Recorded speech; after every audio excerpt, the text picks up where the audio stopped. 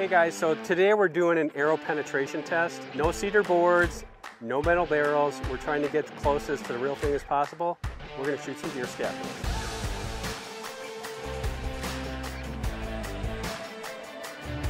When we're thinking about a scapula and you, you know, you shoulder shoot a deer while you're bow hunting or you're crossbow hunting and you think, automatically you think, oh, I center punched his scapula.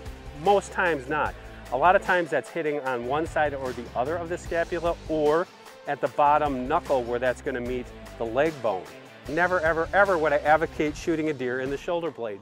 But I want people to understand that with the proper equipment, the proper practice, if it happens and you make a mistake, you know that it's not, you know, you're not doomed. You can punch through that scapula and have a quick, clean kill.